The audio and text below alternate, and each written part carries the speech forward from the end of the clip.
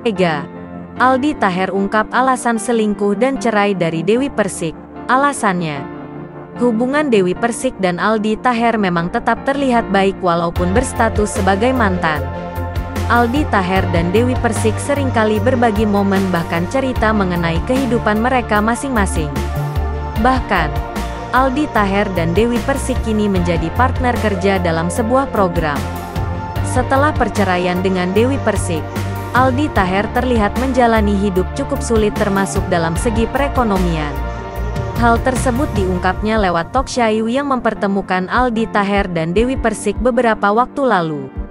Dilansir oleh lombokinsider.com dari akun TikTok @kudrihans pada tanggal 26 Oktober tahun 2022. Beginilah kisahnya. Dalam video tersebut, kedua mantan pasangan itu membahas masa lalu dan menceritakan alasan perpisahannya. Dewi Persik sendiri langsung menegaskan bahwa perceraiannya dengan Aldi Taher lantaran perselingkuhan yang dilakukan mantannya itu.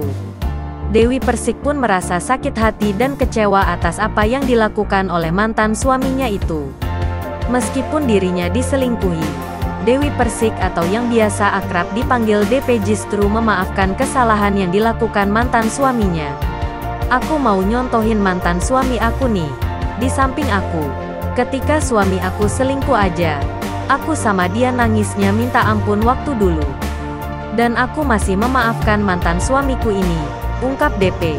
Mendengar cerita DP tentang dirinya yang berselingkuh, Aldi Taher pun tudak menampik cerita dan membenarkan. Aldi Taher kemudian juga turut menceritakan bahwa dirinya telah mendapatkan karma dari perbuatannya pada DP.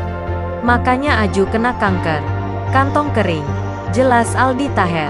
DP pun turut menimpali jika masalah rumah tangganya waktu itu tidak diceritakannya pada siapa pun termasuk berkoar di media. Tapi apakah aku koar-koar di infotainment dan media? Ucap DP.